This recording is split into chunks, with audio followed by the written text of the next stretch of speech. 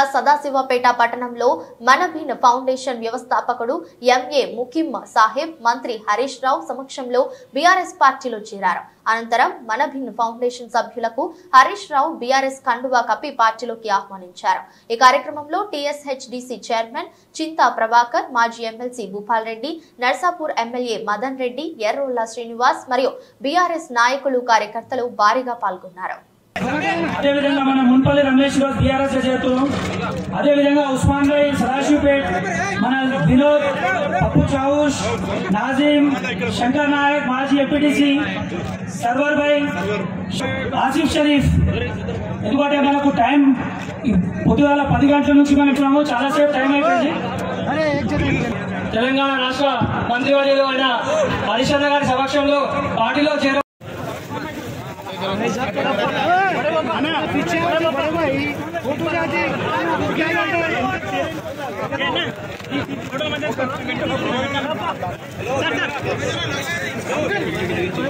Mallepally ward member Lakshmikanth Reddy గారు అదేవిధంగా తరుణ్ కుమార్ కూడా బీజేపీ నుండి మన ఈరోజు మనబిల్ ఫౌండేషన్ ముఖ్యమై గారి దానితో పాటు మల్లెపల్లి నుండి తెలుగు శంకరయ్య గారు కూడా TRS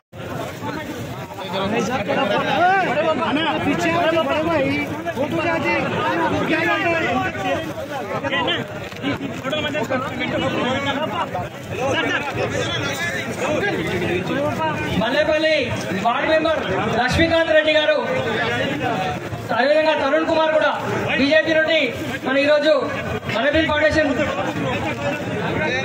ముఖ్యమై గారి గారితో పాటు పల్లెపల్లి నుండి తెలుగు శంకరయ్య గారు కూడా TRS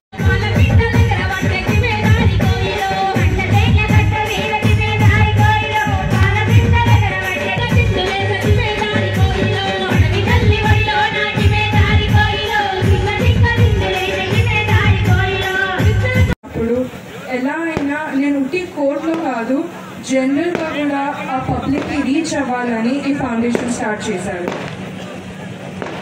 Following that TRS party constantly వాళ్ళ స్కీమ్స్తో వాళ్ళ పాలసీస్తో టైమ్ అండ్ అగైన్ చూపించింది that it is not just a rich man's party గారు ఓటమి చెందిన ఆరోగ్యం బాగలేకపోయినా ఆయన ప్రజల మధ్య ఉన్నాడు సంగారెడ్డి అభివృద్ధి కోసం చింతా ప్రభాకర్ గారు కృషి చేసినటువంటి విషయం కూడా మీకు తెలుసు.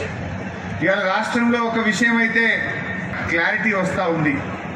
ఇవాళ బీజేపీ నాయకుడు రాజగోపాల్ రెడ్డి కాంగ్రెస్లో పోతా ఉన్నాడు. దీంతో ఒక విషయం ఏం క్లారిటీ వచ్చిందంటే కాంగ్రెస్ బీజేపీల మధ్య ఉన్న రహస్య ఒప్పందం ఇలా రాజగోపాల్ రెడ్డి చేరికతో బట్టబయలైందని చెప్పి మాత్రం చెప్పుకోక తప్పదు. ఎందుకంటే వెంకటరెడ్డి బీజేపీ ఉన్నాడు అన్నగారు రాజగోపాల్ రెడ్డి వెంకటరెడ్డి గారు కాంగ్రెస్ ఉన్నాడు తమ్ముడు రాజగోపాల్ రెడ్డి బీజేపీ ఉన్నాడు. ఇద్దరు చెరొక్క పార్టీలో ఉన్నారు. బీజేపీలో పోటీ చేసిన రాజగోపాల్ రెడ్డికి కాంగ్రెస్ ఎంపీ వెంకటరెడ్డి ఓట్లేయమని చెప్తాడు. కానీ కాంగ్రెస్ వాళ్ళు ఆయన మీద చర్య తీసుకోరు. బీజేపీలో ఉన్న రాజగోపాల్ రెడ్డి కాంగ్రెస్లో ఉన్న అన్నకు మద్దతు చెప్తే బీజేపీ వాళ్ళు చర్యలు తీసుకోరు. అంటే దీన్ని బట్టి ఏంది? ఇద్దరు చెరొక పార్టీలో ఉన్న రెండు పార్టీల మధ్య ఒక అండర్స్టాండింగ్ ఉంది కనుక ఇవాళ ఆ రెండు పార్టీలు కలిసి ఇవాళ బీఆర్ఎస్ పార్టీని కేసీఆర్ను దెబ్బతీయాలని కుట్ర చేస్తా ఉన్నారు.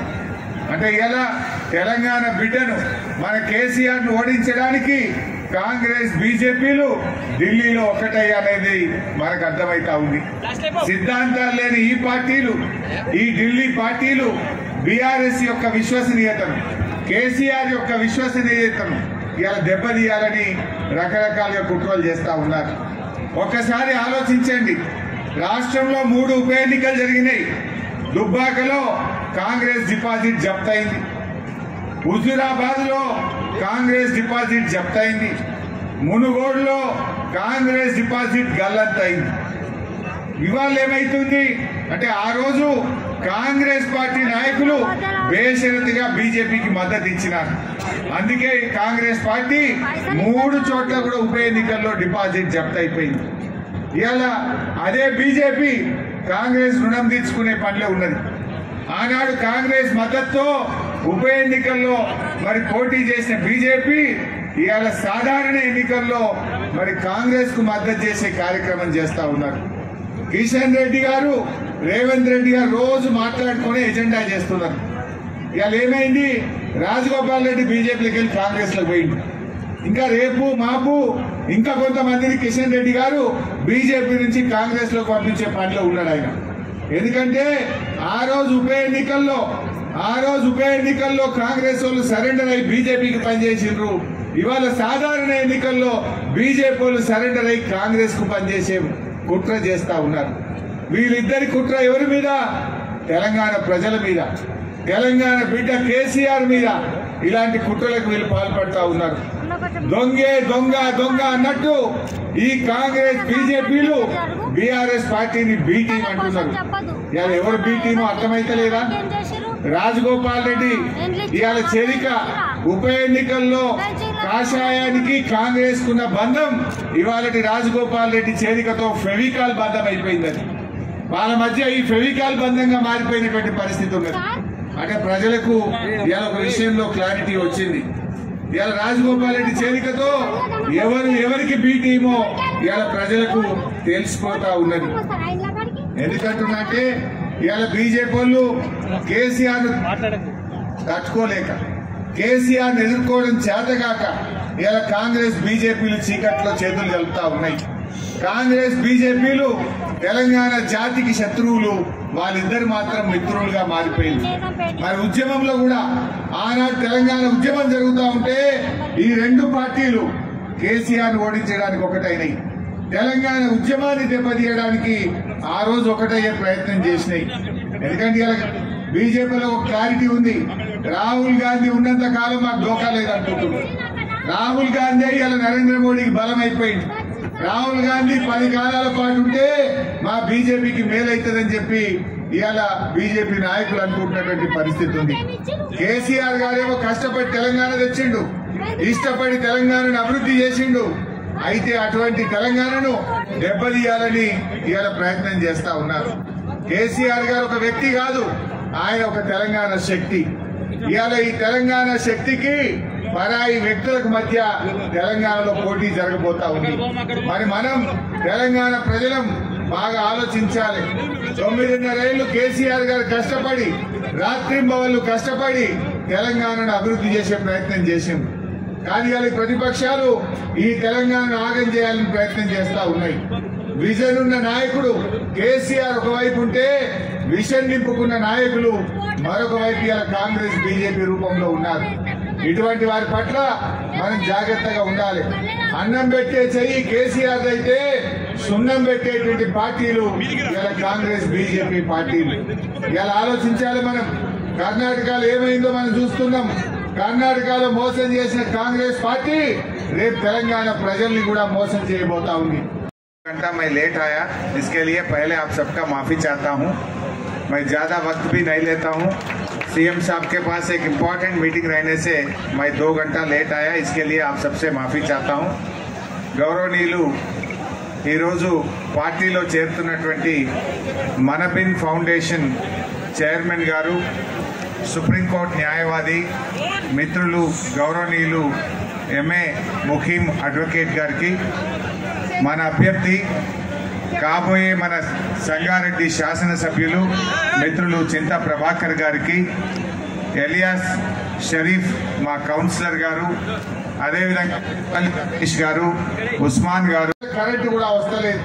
ఇలా పంటలు ఎండిపోతా ఉన్నాయి. కర్ణాటక రైతులు రోడ్ల మీదకి వచ్చి ఇలా బాధపడుతున్నటువంటి పరిస్థితి ఉంది. నమ్మి నానబెడితే పుచ్చి బుర్రెలైపోయిందట నమ్మి నానబెడితే పుచ్చి బుర్రలైనట్టు పొరపాటున కాంగ్రెస్ పార్టీని నమ్మితే ఈ తెలంగాణ మళ్ళీ అరవై ఏళ్ళు వెనక్కి పోయేటువంటి ప్రమాదం ఉంటుంది. ఇలా దయచేసి నేను మీ అందరినీ కోరేది ఒక్కటే మనం తెలంగాణ వస్తే ఎంత మేలైతుందో ఆ రోజు గడప గడపకు పోయి మనం చెప్పినాం. అట్లనే ఇవాళ మూడోసారి మళ్ళీ మనం కేసీఆర్ను గెలిపించుకోకపోతే మళ్ళీ మన తెలంగాణకు జరిగే నష్టాన్ని కూడా ప్రజలకు వివరించాలి. మన మేనిఫెస్టో రెండు వేలున్న పెన్షన్ను ఐదు వేల రూపాయలు చేస్తామని ముఖ్యమంత్రి గారు చెప్పారు. వికలాంగుల పెన్షన్ను ఆరు వేల రూపాయలకు పెంచుకోబోతా ఉన్నాం. నాలుగు వందలకే గ్యాస్ సిలిండర్ ఇవ్వాలని చెప్పి ఇవాళ మనం నిర్ణయం చేసుకున్నాం. అదే విధంగా ఇక రైతు బంధును ఎకరానికి పదహారు వేల రూపాయలకు పెంచాలని కూడా ప్రభుత్వం నిర్ణయం తీసుకుంది. రేషన్ షాపుల్లో ఇచ్చే బియ్యాన్ని పేదలకు సన్న బియ్యం ఇవ్వాలని చెప్పి కూడా మన కేసీఆర్ గారు ప్రభుత్వం నిర్ణయించింది. అంటే మన బీఆర్ఎస్ పార్టీ మేనిఫెస్టోలో ఇన్ని కార్యక్రమాలు మనందరం కూడా పెట్టుకున్నాం. వీటిని ప్రజల్లోకి తీసుకుపోయి అందరు కూడా కష్టపడి పనిచేసి మన చింతా ప్రభాకర్ గారిని గెలిపిద్దాం. ముప్పై నాలుగు రోజులు కేసీఆర్ కోసం బీఆర్ఎస్ కోసం మనం కష్టపడితే ఐదేళ్ళు కేసీఆర్ గారు మరి మన కోసం కష్టపడ్డారు. మా ముఖీం భాయ్ ఈరోజు పార్టీలో చేరడం చాలా సంతోషం. వారికి మరోసారి వారికి వారి బృందానికి స్వాగతం సుస్వాగతం. ఎవరు ప్రజలకు అందుబాటులో ఉంటారు ఎవరు ప్రజలకు అందుబాటులో ఉండలేరు అనేటటువంటిది ఒకసారి ఆలోచించండి. చిక్కు చిక్కున దొరకడం కావాలా కావాలా అనేటటువంటిది ఆలోచించండి మరి ఏది ఏమైనప్పటికీ చింత ప్రభాకర్ అన్నను के भाई मैं परेशान हूँ मैं अ, मेरे को मेरे पास आओ भाई मैं घर से रोक बेघर हो गो मेरे बीवी बच्चे घर हो गए मैं कुछ कमाया नहीं और मैं कमाया पूरा नहीं है रोड पे हूँ मेरे को जेल में डाल देते हैं भाई बोल के रोक के आया तो ఇప్పుడు ఎలా అయినా నేను ఉట్టి కోర్టులో కాదు జనరల్గా కూడా ఆ పబ్లిక్కి రీచ్ అవ్వాలని ఈ ఫౌండేషన్ స్టార్ట్ చేశారు following that TRS party constantly వాళ్ళ స్కీమ్స్తో వాళ్ళ పాలసీస్తో టైమ్ అండ్ అగైన్ చూపించింది that it is not just a rich man's party